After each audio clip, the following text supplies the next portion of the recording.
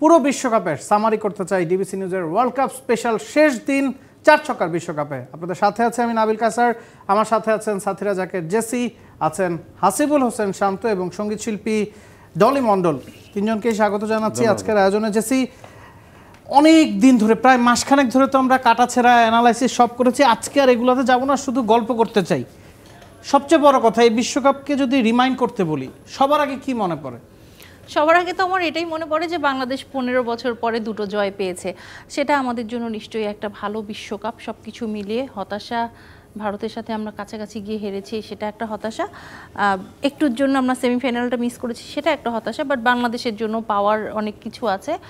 আর সব কিছু মিলে একটা ভালো বিশ্বকাপ হয়েছে যে ছোট দল, বড় দল সব কিছু যদি আমরা হিসেব করি, সবাই মোটামুটি সবার কাছে হেরেছে। একটা জমজমট বিশ্বকাপ হয়েছে, সেটা সব থেকে ভালো লাগার কারণ। একটু ডলি মণ্ডলের কাছে যদি যাই, বিশ্বকাপ ক্রিকেট, কাজের ফাঁকেও নিশ্চয়ই বিশ্বকাপ যেহেতু, খেলা তো দেখেছেনই। সব মিলিয়ে এনজয় কেমন করেছেন? খেলা মানেই তো একটা আনন্দ। হার জিত সেখানে থাকবেই, কিন্তু তারপরও মানে আমাদের গানের ক্ষেত্রে যেমন আনন্দ নিয়ে, উৎফুল্ল নিয়ে যখন গানটা করা হয়, আত্মা থেকে করা হয়, আর বিশ্বকাপ এমন একটা জিনিস, তখন মনে করেন যে আমরা তো সঙ্গীতের মানুষ, তো সঙ্গীতের মাধ্যমে বিশ্বকাপটা ওইভাবে জয় করি। যে বিশ্বকাপের যখন আমেজটা শুরু হয় তখন বিভিন্ন ধরনের সঙ্গীতের বিভিন্ন ধরনের গানের বিশ্বকাপের গান বা লোকসঙ্গীতের যেমন মানে একটা অন্যরকম আবহাওয়া হয়। তো বিশ্বকাপ ওইভাবে সঙ্গীতের মাঝেই মানে কি আনন্দ ভালোবাসা এইভাবেই সঙ্গীতের মাধ্যমেই জয় করেছি বিশ্বকাপকে। অবশ্যই। শান্ত ভাই এক মাস তো অনেক জ্বালাতন হয়েছে। এমনকি বিশ্বকাপ শেষ মন খারাপ না এই সব ঝামেলা শেষ আরাম যে চেয়ারে বসে আরাম হবে পাচ্ছি। হ্যাঁ? সবচেয়ে আরাম এক মাসের চেয়ে আজকে এই যে চেয়ারে বসে খুব আরাম পাচ্ছি। এর আগে চেয়ারগুলো বেশ সুবিধা ছিল না? এরকম ঘুরতে খেলে উপরে বসা যেত না।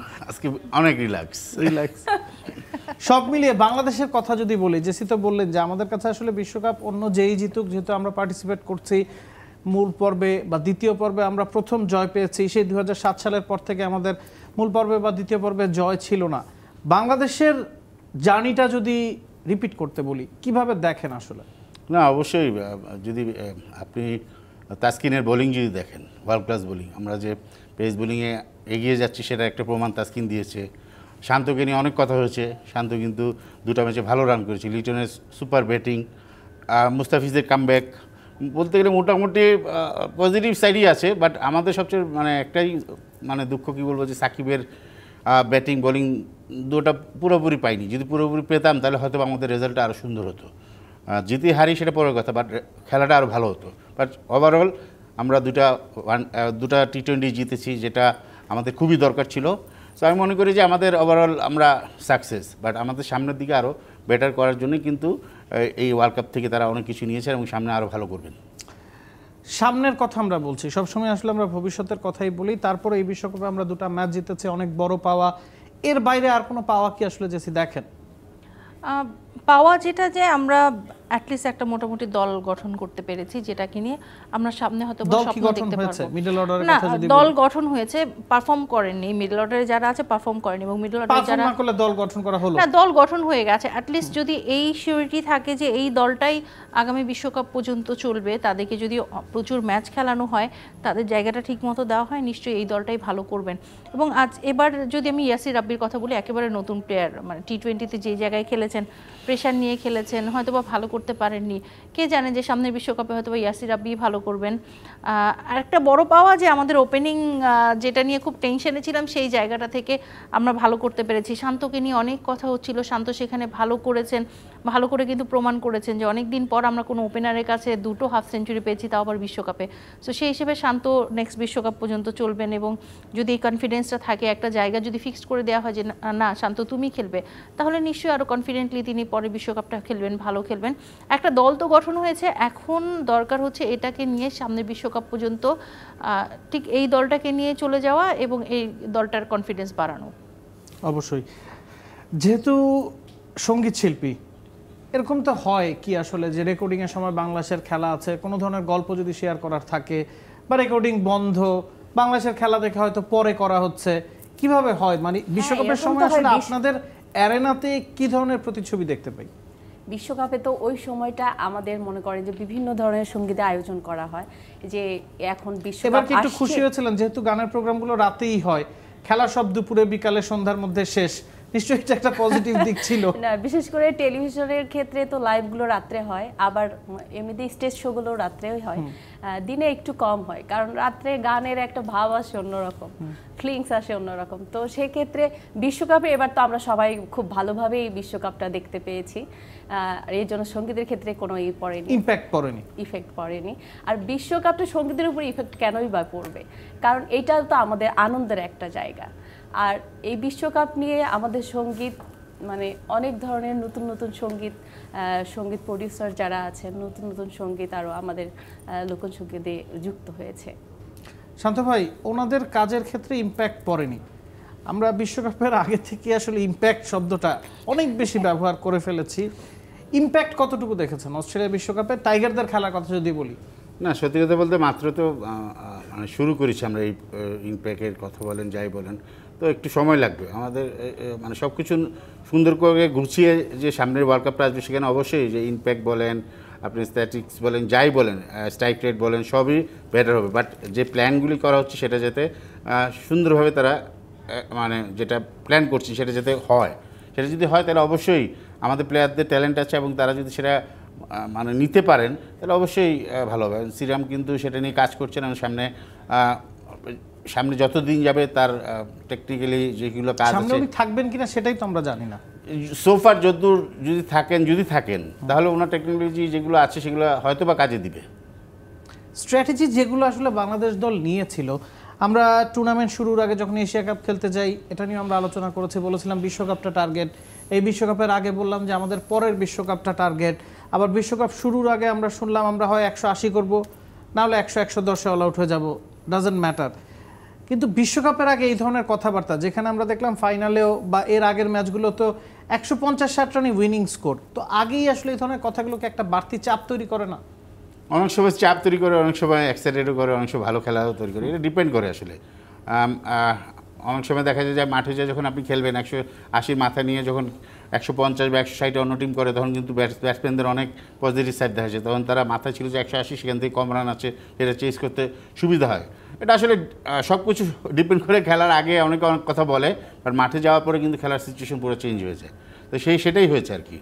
জেসির কি মত এই বিষয়টা নিয়ে? এই যে ইন্টেন্ট ইম্প্যাক্টের কথা আমরা অনেক বলেছি ইন্টেন্ট আমরা অনেক দেখেছি ইম্প্যাক্ট কম ছিল। ব্যাটসম্যানদের কথা যদি বলি বোলারদের ক্ষেত্রে শতভাগ সফল বললেও খুব একটা ভুল বলা হয় না। তারপরও আসলে এই বিশ্বকাপে অনেক ধরনের গল্প আমরা শুনেছি, বাইরে ঘুরতে যাওয়া, বিভিন্ন প্রোগ্রামে অ্যাটেন্ড করা। বিশ্বকাপের মধ্যে এই জিনিসগুলো আসলে আনএক্সপেক্টেড তো প্রফেশনাল ক্রিকেটারদের কাছ থেকে। না, আমার কাছে আসলে মনে হয় না। প্রফেশনাল ক্রিকেটারদের কাছ থেকে এই জিনিসগুলো খুবই স্বাভাবিক ব্যাপার। কারণ সবারই তো ক্রিকেট খেলার সাথে সাথে একটা পার্সোনাল লাইফ আছে। সবাই নিশ্চয়ই ডিনার করবেন, সবাই নিশ্চয়ই লাঞ্চ করবেন, সবাই নিশ্চয়ই অস্ট্রেলিয়ায় গেছেন, পরিচিত বন্ধুদের সাথে দেখা করবেন, সেটাই স্বাভাবিক। এখন কথা হচ্ছে সেটা প্রত্যেকটা দেশ করেছে, কিন্তু নিউজ করেছি আমরা বেশি হয়তো বা আমাদেরটা নিয়ে বেশি নিউজ হয়েছে, আমাদেরটা বেশি ফোকাস হয়েছে। কারণ আমরা যত মাথা ঘামাই যে কে কোথায় ডিনার করছে, কোথায় দাওয়াত খেতে যাচ্ছে, এটা নিয়ে আমার কাছে মনে হয় যে অস্ট্রেলিয়া, ইংল্যান্ড ভারতও সেরকম মাথা ঘামায় না, কে কোথায় যাচ্ছে, কে কী করছে, না করছে, তাদের ইম্পর্টেন্ট মাঠের খেলাটা কি করছে সেটা নিয়ে। বাট আমাদের যেটা হয় যে মাঠের খেলাটা খারাপ হলে হয়তো বা আমাদের ফোকাসটা অন্যদিকে চলে যায় যে কেন খারাপ খেলছে বা কে কোথায় গেলেন, না গেলেন। বিশেষ করে সাকিবকে নিয়ে অনেক কথা হয় এবং বিশ্বাস করেন যে আমার কাছে মনে হয় যে ইন্টারন্যাশনাল ক্রিকেট এখন ওই লেভেলে নেই। আগে হয়তো বা অনেক কিছু ছিল বাইন্ডিংস এটা করা যাবে না, ওটা করা যাবে না। বাট মানে এখন কিন্তু সেই বাইন্ডিংসগুলো নেই। সো আমরা গতকালকে মাঠেও দেখেছি যে মানে যখন ফাইনালটা হয়ে গেছে সবাই সেলিব্রেট করছেন শ্যাম্পেন দিয়ে সেলিব্রেট করছেন সেটা বাঙালি কেউ হলে তো শ্যাম্পেনের বোতলও হাতে নিতেন না তাই না? না হ্যাঁ। কিন্তু দুজন মুসলিম আছেন আদিল না, সেটাই, যে- মঈন আলী। তারা কিন্তু এর আগেই বেরিয়ে চলে না। দেখেছি। হ্যাঁ এটাই আমাদের হ্যাঁ এই যে কালচারের কথা বলছি যে আমাদের কালচারে এটাই যে আমরা বাইরের জিনিসগুলো নিয়েও আমরা অনেক মাথা ঘামাই কিন্তু ধর অন্যান্য দেশ কিন্তু এগুলো নিয়ে এত মাথা ঘামায় না। কে কোথায় ডিনার করতে গেল না গেল। যদিও যেহেতু আমরা খারাপ খেলছিলাম দেখে আসলে কথাটা বেশি ছড়িয়ে গেছে। ভালো হলে আর এই ধরনের কথা আসে না। এটাই যে বেশি ভালো খেললে হয়তো বা এই ধরনের কথা আসতো না মাথাও ঘামাতো না। তখন হয়তো বা সবাই খুঁজে বের করে যে কেন খারাপ খেলছে। সেটার কারণটা খুঁজতে গিয়ে হয়তো বা এই কারণগুলো আসে। বাট আমি সত্যিকারের অর্থে পার্সোনালি এটা কখনোই আমি এটার সাথে একমত না। আমার কাছে সবসময় মনে হয় সবার একটা পার্সোনাল লাইফ আছে। কে কোথায় ডিনার করবে, কে কোথায় লাঞ্চ করবেন, সেটা টিম ম্যানেজমেন্ট নিশ্চয়ই নির্ধারিত করে দেন না। আগে হয়তোবা দিতেন, এখন কিন্তু সেটা দেন না সিনিয়র লেভেলে বিশেষ করে। অবশ্যই আমরা এই বিষয়গুলো নিয়ে আরও কথা বলব। ছোট ছোট যে গল্পগুলো বিশ্বকাপে ছিল, সেগুলো নিয়ে আলোচনা করতে চাই, তবে একটা ছোট্ট বিরতির সময় গেছে দর্শক কোথাও যাবে না। সাথে থাকুন, ফিরছি একটা বিরতির পর। দর্শক আরও একবার স্বাগত জানাচ্ছি ডিবিসি নিউজের ওয়ার্ল্ড কাপ স্পেশাল শো চার ছকার বিশ্বকাপে। আপনাদের সাথে আছে আমি নাবিল কাসের আমার সাথে তিনজন অতিথি আগে থেকে ছিলেন, আরও দুজন যুক্ত হয়েছেন। সরাসরি সেই দুজনের কাছে যেতে চাই। শামীম ভাই ইশরাত পায়েল দুজনই কি আসলে যেহেতু শেষ শো, একটা র্যাপ আপের ব্যাপার মানে খুশিতেই কি আসলে ফিটফাট হতে গিয়ে কি দেরি হয়ে গেল? দুজনেরই একই সাথে। আমি আমার ফিটফাট হলে দেরি না আপনি তো প্রিন্স কোট টোট পরে এসেছেন। এর আগে এক মাস ধরে তো আমরা প্রিন্স কোট পড়তে দেখি রোজ যদি প্রিন্স কোট পরে আসি হ্যাঁ। তাহলে আজকে তাহলে তো রোজই দেরি হতো। স্পেশালিটি তো কিছু থাকতে হবে। আচ্ছা। হ্যাঁ সেটার জন্য। প্রিন্স কোট পড়তে বেশি সময় লাগে ওই একই সময় লাগে। এই শুধু এক নম্বর গুলশান থেকে এখানে আসতে আধা ঘণ্টার বেশি সময় লেগেছে। দ্যাট ইজ দ্য প্রবলেম সত্যি কথা। ঈশ্বর পাইলের ব্যাপারে কি বলবেন? রেড কার্ড দেওয়া যায় কিনা? কালকেও দেরি করেছেন আজকেও দেরি করেছেন। ইয়েলো কার্ডের পরে ডাবল ইয়েলো কার্ডে তো রেড কার্ড রেড কার্ড দেওয়ার শান্তর উপরে। না আসলে শামীম ভাইয়ের কথাটা আগে বলে নি। প্রিন্স কোট পরে এসেছে কারণ ইংল্যান্ড ট্রফিটা নিয়েছে। ওখানে তো ইংল্যান্ড তো এখনও রাজত্ব আছে। প্রিন্স সাজতে চাচ্ছেন। তো আমাদের প্রিন্স আছে এই এই রং এই রং নিয়ে প্রিন্স- ইংল্যান্ডের প্রিন্স সাজা যাবে না। না এখন তো রং নিয়ে আমরা বসে না রেসিজমে কিন্তু আমরা হ্যাঁ, ক্রিকেট ফুটবল ক্রীড়াঙ্গন কেন? কোথাওই হবে না। হ্যাঁ, তো এগুলা বলে পার পাওয়া না যায় ইংল্যান্ডের প্রাইম মিনিস্টার তো এখন ইন্ডিয়ান অরিজিন। না আমি আসলে একটু বেশি সাজছিলাম কারণ হচ্ছে যেহেতু আমাদের আজকে ফাইনাল শো শেষ শো হচ্ছে সো আমি একটু ভাবলাম যে একটু স্পেশাল শো একটু স্পেশালি রেডি হয়ে যাই সেজন্য একটু দেরি হয়ে গেছে। অবশ্যই আমরা অনেক গল্প করছিলাম আপনারা আসার আগেও গল্প আরও করব। একটা গান শুনে ফেলি গান শুনতে শুনতে একটু রিল্যাক্স হয়ে যাই। আচ্ছা যেহেতু এত গুণী মানুষের পাশে আমি ছোট্ট মানুষ বসে আছি। না ওই জায়গাতে তো আপনার স্পেশালিটি ওই জায়গায় তো আপনি রাজা রানী সবকিছুই। সেক্ষেত্রে সাইজে সেরকম একটি গান করছি। কারণ এই ভাগ্য আমার ভাগ্যে আবার হতেও পারে নাও পারে।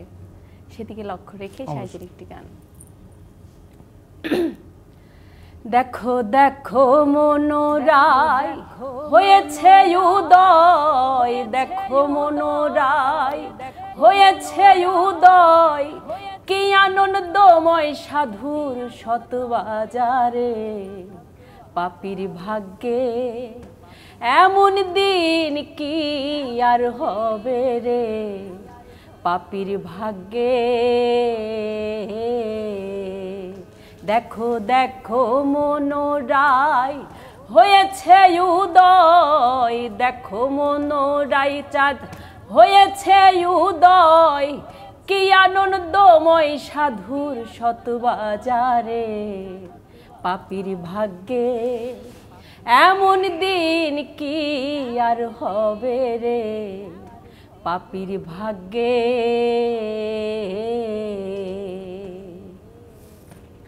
যথারে সেই সাধুর বাজার,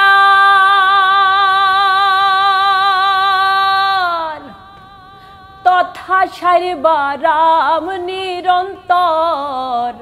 যথারে সেই সাধুর বাজার। তথা সারিবারাম নিরন্তর, হেন সাত সভাই তবে মন আমার, হেন সাত সভাই তবে মন আমার, আবার যেন ফেরে ফেলিস না রে। পাপির ভাগ্যে এমন দিন কি আর হবে রে পাপির ভাগ্যে?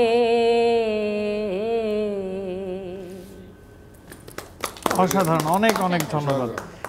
শামীম ভাই শান্ত ভাই জেসির কাছ থেকে আমরা কথা শুনেছি যেহেতু আপনি আসতে দেরি করেছেন। একই প্রশ্ন আপনার কাছেও রাখতে চাই। এই বিশ্বকাপটাকে আমরা অঘটনের বিশ্বকাপ বললে একদম ভুলভাল হবে না। তারপর বিশ্বকাপটাকে যদি ফিরে দেখতে বলা হয় কোন জিনিসটা আসলে সবার আগে মনে পড়ে বা কোন জিনিসটাকে জন্য এই বিশ্বকাপটা মানুষ মনে রাখবে? বৃষ্টির জন্য।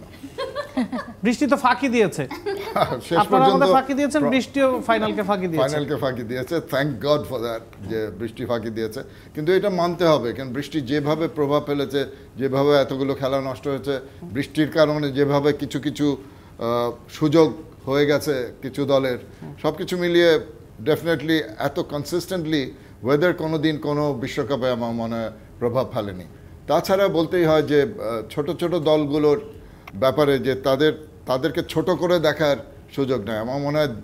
Few of the teams they made an impression এই ফার্স্ট স্টেজ থেকে ওয়েস্ট ইন্ডিজকে বিদায় দেওয়ার ক্ষণ থেকে যে আপসেটের ব্যাপারটা হয়েছিল you have just mention it আসলে it's a world cup of upsets অনেকগুলো দেখেছি আমরা।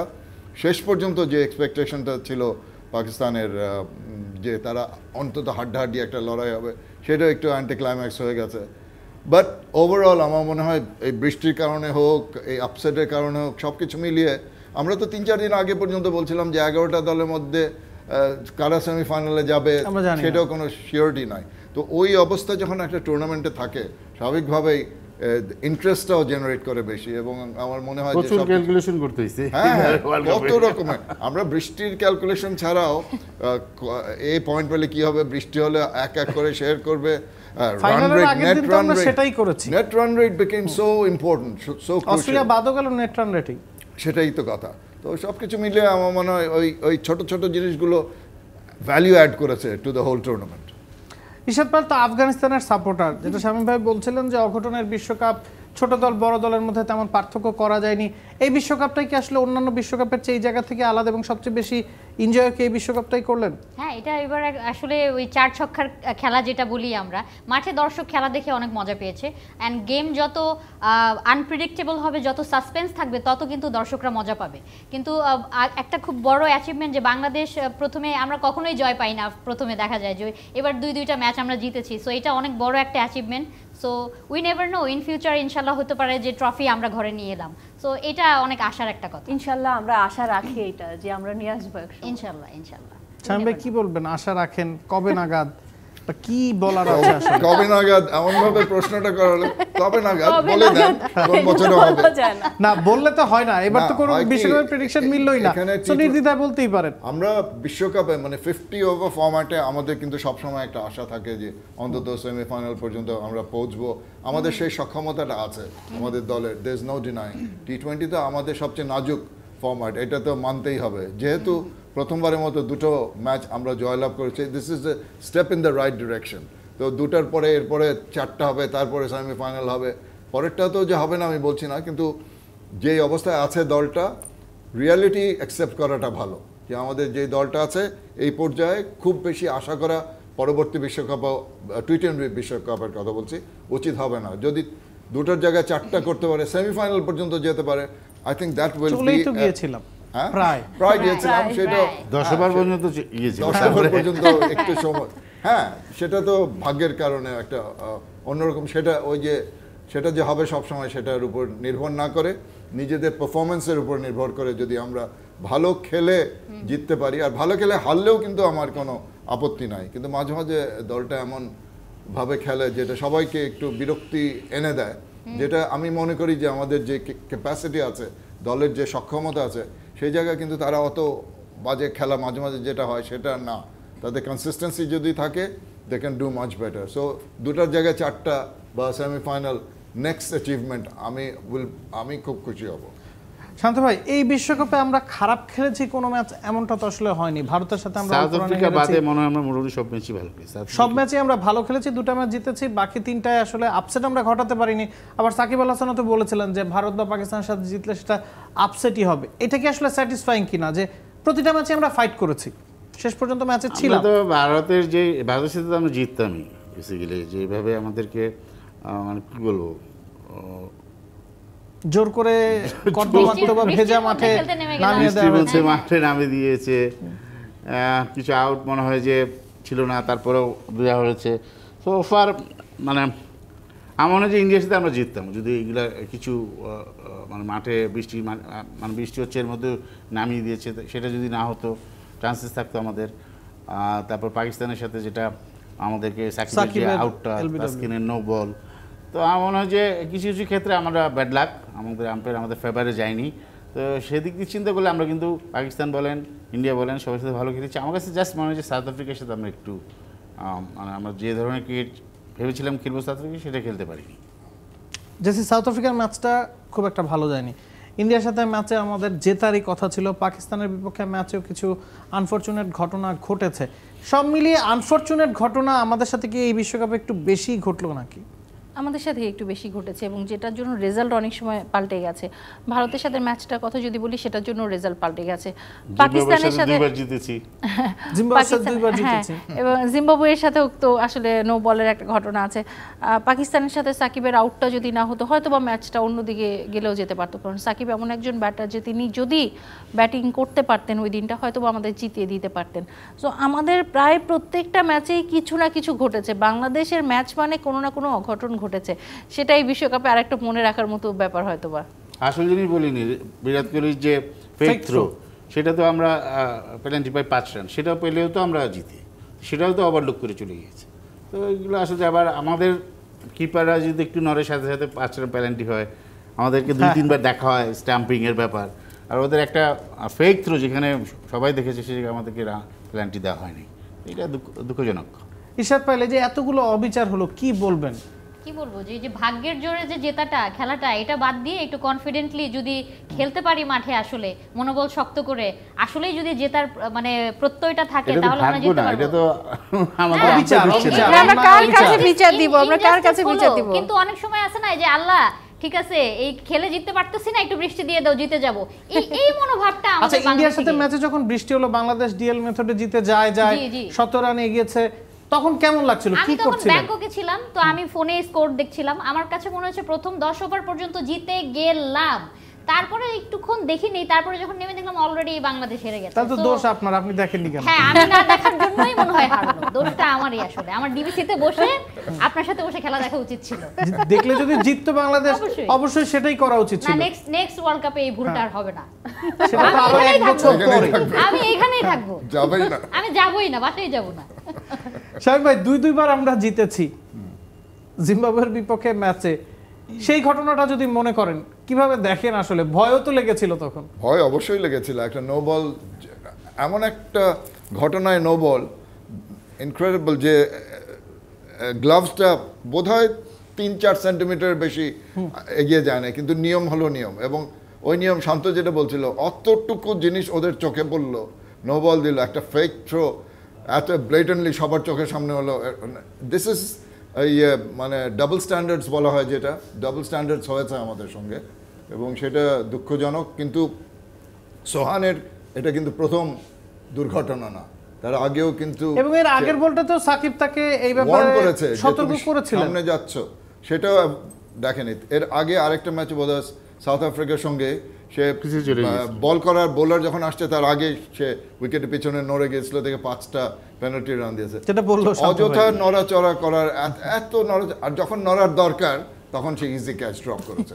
সো এইগুলো কিন্তু সোহানকে ভাবতে হবে। তার তার উপরে অনেকটা চিন্তা ভাবনা ছিল তাকে ভবিষ্যৎ অধিনায়ক করার ব্যাপারে একটা প্রসেস চলছিল কিন্তু তার পারফরমেন্স বিহাইন্ড দ্য উইকেট এবং with the bat very disappointing এটা কিন্তু আসলেই ভালো পয়েন্ট যে আমরা এত কথা বলছি এতজনের পারফরমেন্স নিয়ে সোহানকে নিয়ে যেখানে প্রত্যেকটা ম্যাচে কিছু না কিছু ঘটিয়েছেন। সোহান একটা তো ম্যাচ মানে ওই নো বলটা যদি পরবর্তীতে মানে মোসাদ্দেক ভালো বল না করতো ওখানে তাহলে বিশ্বকাপ আমরা হেরেই যেতাম। আলোচনাও শেষ। হ্যাঁ ওভার ওভার এনথুজিয়াস্টিক হওয়া ভালো না। সবকিছু লিমিটের মধ্যে রাখা উচিত। I feel Sohan is a very good player না হলে এই পর্যায়ে তো তাকে আনা হতো না। কিন্তু ওই পর্যায়ে আনার পরে তাকে ধরে রাখার জন্য যে জিনিসগুলো করা দরকার, আমার একটু ঠান্ডা মাথায় সেই জিনিসগুলো প্র্যাকটিস করা দরকার তার। আরও কথা বলব এই বিষয়গুলো নিয়ে। আমরা বাংলাদেশ নিয়ে আসলে কথা বলতে বসলে বাংলাদেশে চলে আসে। অন্যান্য বিষয়গুলো একটু টাচ করতে চাই, তবে একটা ছোট্ট বিরতির সময় গেছে দর্শক, কোথাও যাবেন না, সাথে থাকুন, ফিরছে একটা ছোট্ট বিরতির পর। দর্শক আরও একবার স্বাগত জানাচ্ছি ডিবিসির ওয়ার্ল্ড কাপ স্পেশাল শো চার ছক্কার বিশ্বকাপে। আমার সাথে আছেন পাঁচ পাঁচজন অতিথি আরও একজনকে একটু যুক্ত করে নিতে চাই। মেগা কুইজ যিনি বিজয়ী হয়েছেন, তাকে আমরা একটু কানেক্ট করে নিতে চাই। জি শুনতে পাচ্ছেন নিশ্চয়ই আমাকে? কে বলছেন? কোথা থেকে বলছেন? জি শুনতে পাচ্ছি। আমি সুলতানা রাজিয়া যাত্রাবাড়ি থেকে। কেমন লাগছে? আমরা তো প্রতিদিনই কুইজ বিজয়ীদের সাথে কানেক্ট হই। আপনি মেগা কুইজ জিতেছেন কেমন লাগছে? জি খুবই ভালো লাগতেছে খুবই। আমি আসলে ঠিক ভাবিনি যে আসলে আমি জিতবো। বিশ্বকাপটা কেমন উপভোগ করলেন? বিশ্বকাপও ভালো লেগেছে। কোন দলকে সাপোর্ট করেছেন? বাংলাদেশের বাইরে যদি জিজ্ঞেস করি। নিউজিল্যান্ডকে যাক তাও সেমিফাইনাল তো খেলেছে। আপনাকে অসংখ্য ধন্যবাদ কুইজ খেলার জন্য এবং মেগা বিজয়ী হিসেবে আপনি হয়েছেন সেজন্য অবশ্যই কংগ্রাচুলেশনস জি আপনাকে অনেক ধন্যবাদ। ধন্যবাদ। কুইজ বিজয়ীকে তো যুক্ত করে নিলাম। আর একটা গান শুনে ফেলি। গান শুনতে শুনতে আমরা আলোচনায় কথায় যাই। ঠিক আছে। মানুষ ছাড়া খেপারে তুই মূল হারাবি। ও তুই মূল হারাবি, মানুষ ভজলে সোনার মানুষ হবি, মানুষ ভজলে সোনার মানুষ হবি। দিদলে মিহিনালে সোনার মানুষ উজলে, দিদলে মিহিনালে সোনার মানুষ উজলে, মানুষ গুরুর কৃপা হলে মানুষ গুরুর কৃপা হলে জানতে পাবি, ও তুই জানতে পাবি। মানুষ ভজলে সোনার মানুষ হবি, মানুষ ভজলে সোনার মানুষ হবি। অসাধারণ, ধন্যবাদ ধন্যবাদ অনেক। স্বামী ভাই, পুরো সময়টা জুড়েই আমাদের সাথে ছিলেন। সব মিলে আসলে কেমন হলো? কেমন লাগছে? আজকে তো শেষ হয়ে গেল, নিশ্চয়ই নির্ভর লাগছে। তারপরও যদি আমরা জানতে চাই বা জিজ্ঞেস করি কেমন হলো আসলে? যদি খেলার বাইরে অনুষ্ঠানটার কথা বলি সবসময় সেই ওই বিশ্বকাপ থেকে এই অনুষ্ঠানটা শুরু হয়েছিল। অন্য একটু চিন্তা ভাবনা করে ভ্যারাইটি এনে প্রডিউসারকে আর যারা সিনিয়র যারা আছেন মাইন্ড মাইন্ড গেমস যারা খেলেছে মানে তাদেরকে ধন্যবাদ জানাই। কারণ একটু ভিন্ন ধর্মী অনুষ্ঠান সব জায়গায় তো সব ক্রিকেট খেলা নিয়ে প্রচার হচ্ছে। কিন্তু আমরা এখানে এসে এনজয় করি। বিশেষভাবে কথাবার্তা বলার তো একটা টেকনিক্যাল অ্যাসপেক্ট তো আছেই। সেটার সঙ্গে এই যে এত গুণী শিল্পীরা আসছেন উপস্থাপিকেরা মডেলরা আসছেন এবং স্পেশালিস্ট একজন আছে আমাদের জেসিকে তো বলতে হয় অলরাউন্ডার হ্যাঁ তুমি বলছিলে যে সে। ফর্মার ক্রিকেটার কমেন্টেটার তারপরে আম্পায়ার কোচও হবে, এখন মডেল আজকে মডেল মডেলের মতো লাগছে সব কিছু এইটা একটা মিলন মেলার মতো মনে হয়েছে। আই থিঙ্ক ওই দুজনে নিশ্চয়ই এগ্রি করবে যে এটাই আমি সবচেয়ে বেশি এনজয় করেছি। বিভিন্ন জায়গায় তো গিয়েছে, ওখানে একটু সিরিয়াস ম্যাটার্স নেওয়া কিন্তু এখানে সিরিয়াসনেস সঙ্গে কিছু হালকা যোগ হওয়ার কারণে আমার মনে হয় সবাই যারা দর্শক দেখেছে অনুষ্ঠানটা দে এনজয় ইট ভিন্ন ধর্মী একটা অনুষ্ঠান, যদিও এটা basically sports program Ishad Payel? আমার কাছে ডিবিসি নিউজ সবসময় ফ্যামিলির মতো। তো সবাই মনে করে হয়তো বা ডিবিসির এই ক্রিকেট প্রোগ্রামটা আমি সারা বছরই করি এরকম মনে হয়। বলে আপু আপনাকে ডিবিসিতে দেখেছি। আর ক্রিকেট সম্বন্ধে বলতে গেলে আমি ক্রিকেট দেখি ভালোবাসি কিন্তু খুব একটা যে জানি তা কিন্তু না। কিন্তু এখানে এসে কিন্তু আমার এই পড়াশোনাটা হয়ে যাচ্ছে। ক্রিকেট নিয়ে অনেক কিছু জানতে পারছি পড়াশোনা আপনি যথেষ্ট করেই আছেন এটা আমরা সবাই জানি। যথেষ্ট হোমওয়ার্ক করা হয়। না অবশ্যই একটা আমি যেহেতু একটা পাবলিক প্ল্যাটফর্মে যদি কথা বলতে যাই অবশ্যই আমাকে ইনফরমেশন কিছু গ্যাদার করতে হবে ইনফরমেটিভ হতে হবে। সো ডিবিসি নিউজের এই আয়োজনটা আমি কিন্তু আর কোনো ক্রিকেট শোতে যাই না। আচ্ছা। 'Cause আমার আমি এখানে কমফোর্ট ফিল করি। আর আমি জানি যে এখানে যদি আমি ভুলও বলে ফেলি আমাকে কেউ ধরে বেঁধে অথবা জাজ করবে না। শিখে পড়ে নেওয়ার লোক আছে। So it's a family for me so thank you Safayat ভাই। থ্যাংক ইউ নাবিল ভাই অ্যান্ড জেসি আপু আছে। অ্যান্ড শান্ত ভাই শান্ত ভাইয়ের নামে তো আমার ছোট ভাইয়ের নামকরণই করা হয়েছে। আচ্ছা। কারণ আমার ফ্যামিলির কাছে সবসময় ফেভারিট শান্ত ভাই। আর শামীম ভাই অলওয়েজ এভারগ্রিন অ্যান্ড তার সাথে যখনই কথা বলি আমার মন ভালো হয়ে যায়। আর নতুন নতুন গেস্ট যারা আসে তাদের সাথে তো সবসময় দেখা হয় কথা হয়। এখানে এসে আড্ডাটা জমে। ভালো লাগে। শান্ত ভাই লম্বা সময় আমরা পার করলাম। শুরুর দিকে আসলে কথা বলার নিষেধাজ্ঞা থাকে সবকিছু শেষ করে। কেমন লাগল আসলে? কেমন দেখলেন? সবসময় থাকেন আপনারা সেজন্যই তো আমরা লম্বা সময়। ঘরে থাকিনি এই প্রথম লম্বা সময় ছিলাম এই জন্য ডিবিসিকে আমি অনেক অনেক ধন্যবাদ জানাই। কারণ লম্বা সময় থাকার কারণে অনেক কিছু নিজেও শিখতে পেরেছি অনেক কিছু বলতেও পেরেছি। এটা আমার কাছে মানে বিশেষ একটা মানে কি বলব আসলে এম, মানে আমি বোঝাতে পারছি না। মানে লম্বা সময় ডিবিসি যে আমাকে সুযোগ দিয়েছে এ কথা বলার এটা আমার জন্য বিশেষ একটা মানে কি বলব পাওয়া। পাওয়া আর কি সত্যি কথা বলতে। আর ডিবিসি সবসময় আসলে এরকম সুন্দর প্রোগ্রাম করে। সবচেয়ে বড় জিনিস যে শাহিম ভাইয়ের মতন তারপরে ইস্তিয়াক ভাই ছিলেন জেসি ছিলেন তারপর আরও অনেকে ছিলেন যারা নামি দামি অনেক লোকজন ছিলেন যাদের সাথে পরিচয় হয়েছে কথা বলতে পেরেছি সেটাও একটা সৌভাগ্য। আসলে সব মিলিয়ে চমৎকার একটা প্রোগ্রাম যেটা আসলে বারবার যাতে এরকম ওয়ার্ল্ড কাপ আসে বারবার যাতে আমরা আসতে পারি সেই জন্য ডিবিসিকে অনেক অনেক ধন্যবাদ। জেসি একদম শুরু থেকে শেষ এর আগের প্রোগ্রাম এখনের প্রোগ্রাম সব মিলিয়ে কোনো পার্থক্য কি পেলেন? এবার একটার কথা যদি বলি বা কেমন লেগেছে আসলে? আম- আমার শেষের দিন যেটা হয় যে মন খারাপ হয় খুবই মন খারাপ হয়। শুরুর দিকে মনে হয় এক মাস এক মাস কীভাবে কাটবে? আবার যখন শেষের দিন আসে তখন মনে হয় কি শেষ হয়ে গেল? দেখতে দেখতে এক মাস শেষ হয়ে গেল। আর স্বাভাবিক ইমোশনাল হয়ে যাই। যেটা পায়েল কিছুক্ষণ আগে বলল যে এটা তো আসলে ফ্যামিলির মতো। বিশেষ করে আমি শান্ত ভাই শামীম ভাই আমাদের তো পুরো ফ্যামিলি এবং পায়েল তো নিশ্চয়ই। মানে আমরা পায়েল সবসময় আমাদের সাথে কিন্তু থাকে। সো সব কিছু মিলে আমরা একটা ফ্যামিলির মতো হয়ে গেছি। আমরা জানি যে বিশ্বকাপ হোক বিপিএল হোক যাই হোক না কেন আমরা ডিবিসিতে আসি আছি। এখন আমরা হচ্ছে ফুটবলের জন্য আর- নিজেদেরকে হ্যাঁ, চাচ্ছিলাম হ্যাঁ। হ্যাঁ অবশ্যই। এবং ডিভিসি সবসময় আমার কাছে ডিভিসি সব থেকে ভালো লাগা যেটা যে কোনো বড় ইভেন্ট হোক না কেন সেটা ক্রিকেট হোক ফুটবল হোক সেটা নিয়ে অনেক আলোচনা হয়। গেস্টরা থাকেন আমরা গান শুনি কবিতা শুনি এনজয় করি। বড় বড় নায়ক নায়িকাদের দেখারও সৌভাগ্য হয় এই উচিলায় আমাদের। সব কিছু মিলে দারুণ একটা প্রোগ্রাম মানে খুবই রঙিন একটা প্রোগ্রাম আর সেটার জন্য নিশ্চয়ই তো হীরা ভাইয়ের কথা মনে হয় মিস করে গেছেন। হীরা ভাই, মঞ্জু ভাই, সাফেদ ভাই তো নিশ্চয়ই পেছনে যারা রয়েছেন, ক্যামেরার পেছনে, যারা আমাদের আসলে এই প্ল্যাটফর্মটা করে দিয়েছেন, সবাইকে অনেক অনেক ধন্যবাদ। আসলে এই নাবিল ইমোশনাল হয়ে যাচ্ছি এবং তোমার উপস্থাপনার কথাও বলতে হয়। এত সুন্দরভাবে উপস্থাপনা করেছ আমাদেরকে সবাইকে। হ্যাঁ এত সহজ করে। দিয়েছ যে কারও কারও আর কোনো টেনশন থাকতে হয় না যে নাবিল যেখানে উপস্থাপক আছে সেখানে সবার টেনশনটা সহজ হয়ে যায়। আজকে মিষ্টি খাওয়ানোর সময় আসছে এত হ্যাঁ, হ্যাঁ, গুণগান শুনলাম। তারপর আবার প্রমোশনও পেয়েছেন। ক্রিকেট বিশ্বকাপ শেষ হচ্ছে আপনাদেরকে আমাদের বিদায় জানাতে হবে। তো সামনেও আসার কিন্তু সম্ভাবনা আছে। ফুটবল বিশ্বকাপের জ্বর তো আজকে থেকে আসলে ওঠা শুরু করেছে। কতটা এই যে ক্রিকেটের মানুষ ফুটবল বিশ্বকাপ যখন বাংলাদেশ থাকে না তাতে কি হয়েছে? কতটা এক্সাইটমেন্ট আসলে ফিল করেন? ফুটবল বিশ্বকাপ তো বিশ্ব. রিয়েলি বিশ্বকাপ ক্রিকেট যদিও সীমিত দল খেলে এই জন্য ইন্টারেস্টটা অনেক কম। তো ফুটবল বিশ্বকাপের জন্য আলাদা একটা মানে প্ল্যাটফর্ম হয়ে যায় সবার জন্য। যারা ক্রিকেটে আমরা ক্রিকেটের সঙ্গে অতপ্রতভাবে জড়িত। বাট এমন কোনো লোক নাই আমার মনে হয় যারা ফুটবল পছন্দ করে না এবং ফুটবল বিশ্বকাপ ফলো করে না। আমার, বিশ্ব আসরে স্পেশালি এইবার কাতারে হওয়ার কারণে টাইম জোনের একটা ব্যাপার আছে, আমাদের দেখতেও সুবিধা হবে।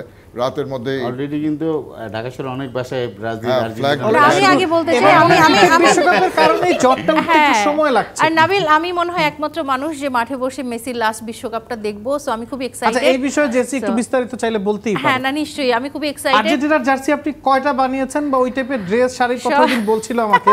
কয়টা বানিয়েছেন? বড় কথা আমার গতকালকে ক্রিকেট ওয়ার্ল্ড কাপটা শেষ হওয়ার পরে আমি রাতে আর্জেন্টিনার ছবি তুলে একটা ফেসবুকে দিয়েছি। হ্যাঁ, আর্জেন্টিনার জার্সি আমার চার পাঁচটা মেসির ছবি সহ আর্জেন্টিনা যত ধরনের পাওয়া যায় সেটা করেছি। আর্জেন্টিনার থিমে শাড়ি করেছি ড্রেস করেছি পুরো নভেম্বর মাসটাই আমার আর্জেন্টিনা থিমে যাবে এবং তিরিশ তারিখে আমার বার্থডে আমার বার্থডের কেকটাও এবার আর্জেন্টিনার থিমে হবে। আমি জানি না আর্জেন্টিনা জিতবে কিনা। হচ্ছে না বাংলাদেশে কাতারেই হচ্ছে। আমি এবার আচ্ছা। কাতারেই বার্থডেটা করছি। আর্জেন্টিনার খেলা দেখে আমার এবার ইচ্ছা যে এটা কি খরচ কমানোর উপায় কিনা। কাতারে এই বার্থডে করে টিভিতে তো খরচ। কমানোর উপায়। বার্থডে টিভিতে দেখব? আমরা, আমরা। টিভিতে দেখব। হ্যাঁ, হ্যাঁ। মেসি যখন গোল দিবে তখন তুমি কেক কাটবে। আচ্ছা একজন আর্জেন্টিনার সমর্থক তো পেয়েছি। শান্ত ভাই কোন দল সাপোর্ট করেন? আমি ব্রাজিল। ব্রাজিল। আমি আর্জেন্টিনা। না আগে জানলে শান্ত ভাই আমার পাশে বসা আর্জেন্টিনার একদিকে বসতাম ব্রাজিল না না তো মিল আর্জেন্টিনার সবচেয়ে একজন বড় ব্রাজিল। থাকবে একজন আর্জেন্টিনা থাকবে তখনই তো আসলে জমে। আর্জেন্টিনার সবচেয়ে বড় ফ্যান ব্রাজিল আর ক্যামেরুন। সব থেকে বড় আমি সেফ আমি। খেলছেন। উনি ওনার কোনো ভক্তকেই অখুশি করতে চান না এই জন্য জানবে কিছু। বলছেনই না। সবাই কেন ব্রাজিল আর্জেন্টিনা? আর আপনি কোনো দল নাই? আচ্ছা আপনি তো ভিন্ন পথে ইং- ইংল্যান্ড আছে তো। হ্যাঁ সেটা কোন দল? আমি ইংল্যান্ড, এটা যে ইংল্যান্ড ক্রিকেট বিশ্বকাপ champion?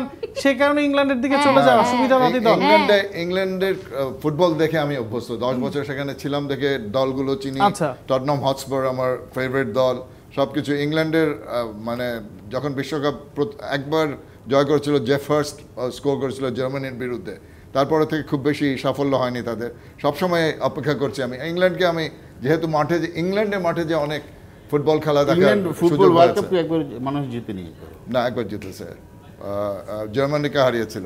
Nineteen eighty three eighty four something like that sixty সিক্সে একবারে জিতেছিল। ও নাইন সিক্সটি সরি আবার জিতবে কিনা আমরা জানব। আজকে এখানেই শেষ করছি। দর্শক ক্রিকেট বিশ্বকাপ শেষ চার ছক্কার বিশ্বকাপও শেষ।